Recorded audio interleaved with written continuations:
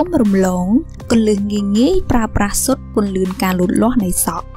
ភិកច្រើននៃពួកយើងសុទ្ធតែបានដឹងពីអត្ថប្រយោជន៍ដ៏ប្រសើរនៃសុទ្ធចំពោះសុខភាពប៉ុន្តែប្រហែលជាមិនធ្លាប់ចាប់អារម្មណ៍ទេថា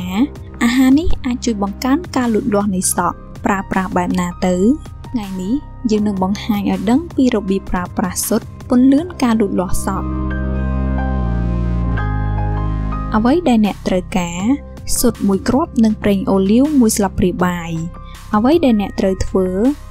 លាយស៊ុតជាមួយប្រេងអូលីវដោយកូរវឹកឲ្យសព្វក្រោយពីកក់សក់ជាមួយសាប៊ូរួចរាល់ចូលប្រើប្រាស់កន្សែងជូតផ្ដិតសក់ដើម្បីកុំឲ្យសើមខ្លាំងពេក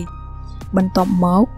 សឹមលាបល្បាយលើសក់ពិសេសត្រង់ចុងសក់ រុំសក់ជាមួយកន្សែងស្ងួតឬមួកឬមួកផ្លាស្ទិកសម្រាប់ពាក់ងូតទឹកសម្រាប់រយៈពេល10ទៅ20នាទី មិនត្រូវលើសពីនេះលាងសម្អាតសក់ឲ្យស្អាតនិងបន្តប្រើប្រាស់ក្រែមបន្ទន់សក់សម្រាប់រយៈពេល2ទៅ3នាទីសម្លៀងសម្អាតចេញ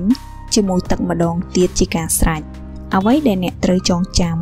អនុវត្តឲ្យបានមួយខែម្ដង និងមិនគួរលើសពីនេះឡើយ។